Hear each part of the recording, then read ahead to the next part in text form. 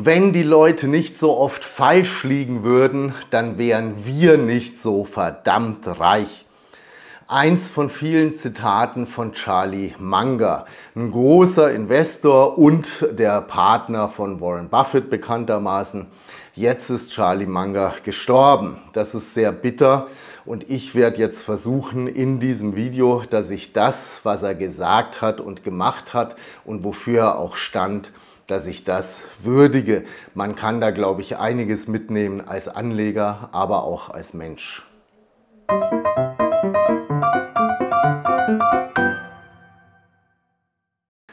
Warren Buffett und Charlie Munger. Jeder kennt sie. Sie waren immer da. Sie haben auch immer irgendwie zusammengehört. Sie sind ja beide aufgewachsen in der gleichen Stadt in Omaha, Nebraska. Sie haben zusammen dann Berkshire Hathaway aufgebaut, einen riesigen Investmentkonzern und das auch gegen jede Wahrscheinlichkeit. Das sind sie, links Charlie Munger, rechts Warren Buffett auf einer alten Fotografie oder hier ein bisschen später im Jahr 1956. Das hätten sie damals wahrscheinlich auch nicht gedacht, was sie da noch alles hinstellen werden gemeinsam. Ein unschlagbares Team. Aber jetzt ist Warren Buffett leider alleine, weil Charlie Munger ist am Dienstag gestorben in einem Krankenhaus in Santa Barbara in Kalifornien, ein paar Wochen bevor er 100 Jahre alt geworden wäre. Er war bis zum Schluss Vize-Chairman von Berkshire Hathaway. Er hat bis zum Schluss auch immer wieder Interviews gegeben, hat sich dann auch geäußert zu Alibaba und zu anderen Aktien, die er gehabt hat. Das war sicher auch eins von seinen Geheimnissen, warum er so alt geworden ist oder so erfolgreich geworden ist. Er war einfach immer mit Leidenschaft dabei und ist ja anscheinend auch nie auf die Idee gekommen, dass er irgendwann auch mal aufhören könnte. Und ich will jetzt gar nicht großartig eingehen, äh, was er alles für Aktien gehabt hat oder warum er die jetzt auch gehabt hat. Dazu gibt es wahrscheinlich in ein paar Tagen hunderte von Videos hier, die Sie sich dann anschauen können, inklusive welche Aktien er dann auch als nächstes kaufen würde. Das Übliche also. Hier jetzt vielleicht nur mal ein paar grundlegende Sachen. Warren Buffett und Charlie Munger. Wie gesagt, sie sind ja in der gleichen Stadt äh, aufgewachsen. Äh, Charlie Munger hat sogar mal gearbeitet in einem Lebensmittelmarkt, der dem Großvater von Warren Buffett gehört hat. Aber trotzdem, anscheinend haben sie sich nicht großartig gekannt damals.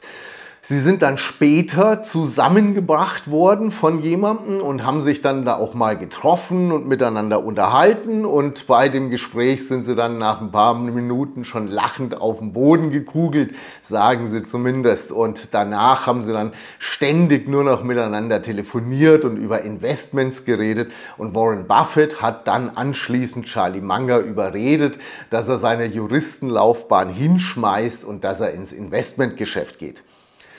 Und diesen Geist, den haben die beiden sich dann aber 60 Jahre lang erhalten können. Die Hauptversammlungen von Berkshire Hathaway, die waren immer legendär. Die Leute sind in Massen hingepilgert. Nicht nur, weil man da dann vielleicht was gelernt hat, sondern auch, weil sie immer sehr witzig waren. Warren Buffett und Charlie Munger, die haben sich da gegenseitig dann die Bälle zugeworfen und alle haben sich amüsiert. Und der Schlusssatz von Charlie Munger, der war dann immer, ich habe dem nichts mehr hinzuzufügen. Das ist wahrscheinlich so das zweite Erfolgsgeheimnis. Man ist sehr wahrscheinlich dann besonders erfolgreich, wenn man auch Spaß zusammen hat und wenn man mit Leuten zusammenarbeiten kann, mit denen man sich einfach gut versteht und wo man die gemeinsame Vision auch hat. Und so ist dann alles seinen Weg gegangen. Man hat die zwei ja auch oft belächelt oder auch nicht ernst genommen oder vielleicht sogar beschimpft. Zwei alte Herren mit ihrer Old Economy immer, die gar nicht mehr verstehen, was eigentlich los ist inzwischen auf der Welt und die da immer nur rumreiten auf ihren komischen Prinzipien. Aber genau das war das Spannende. Berkshire Hathaway ist eben kein Hedgefonds, der irgendwann mal die eine große geniale Wette gemacht hat, sondern es ist eine Gesellschaft, die langfristig investiert hat. Die haben ihren Stiefel immer durchgezogen, all die Jahrzehnte. Und sie sind heute eins der größten Unternehmen überhaupt. Mit einem Börsenwert von 785 Milliarden Dollar. Größer als Exxon, größer als Intel, größer als JP Morgan. Und das fasziniert die Leute dann natürlich doch. Und es gibt ja auch eine ganze Flut von Büchern und von Artikeln und alles Mögliche über die Strategie und das Vorgehen von Warren Buffett.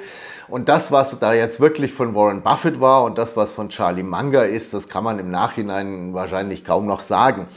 Aber Warren Buffett hat immer wieder betont, ohne Charlie Munger hätte Berkshire Hathaway nicht funktioniert. Und wofür er sich immer ganz besonders bedankt hat bei Charlie Munger, das war, dass der ihn anscheinend irgendwann mal davon überzeugt hat, dass man für eine gute Aktie auch manchmal ein bisschen mehr hinlegen muss. Warren Buffett war am Anfang anscheinend ein unglaublicher Pfennigfuchser, ein Value-Extremist, also jemand, der nach ganz extremen Unterbewertungen gesucht hat. Und später sind dann aber eben auch so Investments dazugekommen wie McDonald's, Coca-Cola und so weiter.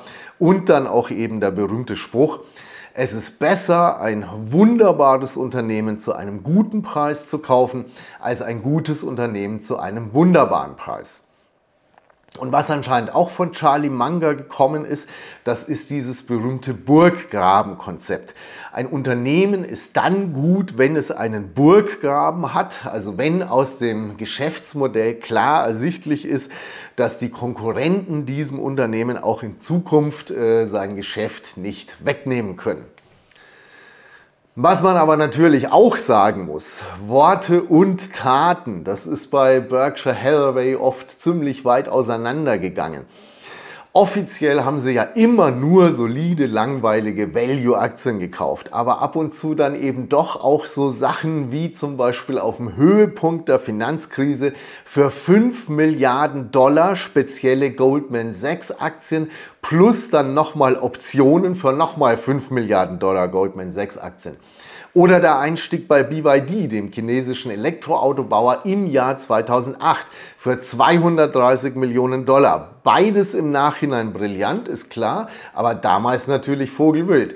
Das ist die BYD-Aktie. Warren Buffett hat da in letzter Zeit auch wieder Anteile verkauft, wo jetzt auch viele sagen, das ist aber kein gutes Zeichen. Warren Buffett glaubt anscheinend nicht mehr an BYD. Aber wenn man 2008 eingestiegen ist und sich die Aktie seitdem verdreißigfacht hat, dann würde jeder wahrscheinlich auch mal was verkaufen. Und dieser Einstieg bei BYD, der geht anscheinend auch auf die Kappe von Charlie Munger. Der hat sich immer viel stärker als Warren Buffett auch für China-Aktien interessiert. Und mit seiner anderen Investmentgesellschaft, mit Daily Journal, da ist er letztes Jahr ja auch noch mal ganz dick bei Alibaba eingestiegen. Ein Teil davon hat er dieses Jahr dann wieder verkauft, weil es dann ja doch nicht so gut gelaufen ist bei Alibaba. Aber grundsätzlich hat er gesagt, gerade auch in letzter Zeit, China ist jetzt interessant, weil man da gute Unternehmen bekommt zu einem sehr guten Preis. Und er ist da eben auch äh, investiert, auch in ein paar Unternehmen an den chinesischen Inlandbörsen, also da, wo sich sonst kaum einer hintraut von den westlichen Investoren. Und darum ist Charlie Munger in China jetzt auch ganz besonders betrauert worden von den Leuten. Und das ist ein Bild hier von ihm 2010 mit dem BYD-Chef. Und hier sind die beiden nochmal links und rechts dann eben Warren Buffett und Bill Gates vor einem BYD, wie die damals ausgesehen haben. Und speziell für BYD war dieser Einstieg von Warren Buffett dann natürlich auch eine unglaubliche Aufwertung, ein Ritterschlag sozusagen. Ich beschäftige mich jetzt auch seit ein paar Jahren schon mit Aktien, aber seit ich das tue, Warren Buffett und Charlie Munger, die waren schon immer dabei, die waren immer da. Anleger der alten Schule und egal, ob man, dem, ob man denen jetzt nachgeeifert hat oder nicht, aber sie haben die Leute ermuntert, sie haben immer wieder gesagt, so schwer ist es nicht. Mach solide Sachen, sei geduldig, renn nicht jedem Quatsch hinterher und lasst euch nicht irre machen. Das wird schon alles. Und damit haben sie mit Sicherheit viele inspiriert und auch ermutigt, dass sie sich auch mal mit Aktien beschäftigen, aber eben auf eine vernünftige Art und Weise. Sie haben die Leute aber natürlich auch ganz gern belehrt, auch Charlie Munger. Und er war da oft auch widersprüchlich. Also auf der einen Seite hat er ja zugegeben, dass er in jungen Jahren wie ein Besessener versucht hat, reich zu werden. Und auf der anderen Seite hat er aber Leute verachtet auch, die, die dem schnellen Geld hinterhergejagt sind. Und er hat auch den Konsum, den amerikanischen, letzten Endes verachtet. Also dass sich die Leute dauernd neue tolle Sachen kaufen müssen. Warren Buffett, der hat ja selber auch nie besonders viel Geld ausgegeben, aber über Charlie Hat der mal gesagt, für Charlie Manga ist es schon Luxus, wenn er mal in einem klimatisierten Bus mitfährt. Und Charlie Manga hat das alles eben mal so erklärt, es ist ihm beim Reichtum nie auf Ferraris oder sowas angekommen, sondern es ging ihm um die Unabhängigkeit immer. Und darum hat er auch jedem immer gesagt, äh, man muss sein Geld einfach zusammenhalten. Was hat er den Leuten sonst für Tipps gegeben? Wer glücklich 99 Jahre alt werden will, der muss ab und zu mal ein Stück Erdnusskrokant essen. Außerdem, er war sehr wissbegierig, sehr lernbegierig bis ins hohe Alter. Er hat sich für viel interessiert, nicht nur für Wirtschaft. Er hat auch gesagt, man soll jeden Tag ein bisschen klüger ins Bett gehen, als man aufgestanden ist. Dann sei man auch ein erfolgreicherer Investor. Und er hat immer gesagt, er hat versucht, immer heiter zu sein. Heiter, ohne Neid und ohne Groll. Das ist ihm sicher auch nicht immer leicht gefallen. Er hat als Jugendlicher in der großen Depression zwölf Stunden am Tag arbeiten müssen für fast nichts. Einer seiner Söhne ist als Kind an Krebs gestorben. Er war zweimal verheiratet. Beide Frauen sind gestorben und er hat auch grauen Star gehabt und hat dadurch ein Auge verloren. Trotzdem, er war meistens heiter und er hat eben auch vieles relativ gelassen gesehen. Und in einer von den letzten Hauptversammlungen, da hat er mal gesagt, wenn ich optimistisch sein kann, obwohl ich schon fast tot bin, dann könnt ihr alle doch auch ein bisschen mit, mit ein bisschen Inflation fertig werden. Es gibt hier auf YouTube auch ein Video mit den besten Momenten auf den Hauptversammlungen, His Best Jokes. Ich stelle Ihnen den Link äh, dafür, darauf hier auch mal rein. Das, seine Heiterkeit und seine Neugier auf alles, das war wahrscheinlich sein größtes Erfolgsgeheimnis. Aber es ging eben auch nie nur um Erfolg. Und auch das hat er mal gesagt, mitten in einer Hauptversammlung, einfach so. Wenn alles, was man erreicht hat im Leben, das ist, dass man früh reich geworden ist durch das passive Halten von irgendwelchen Papieren, und wenn man nur darin sein ganzes Leben immer nur besser, immer noch besser geworden ist, dann ist das Leben gescheitert. Auch dem ist nichts mehr hinzuzufügen. Außer vielleicht dem Hinweis auf mein Kanal-Abo, aber auch den schenke ich mal heute mal.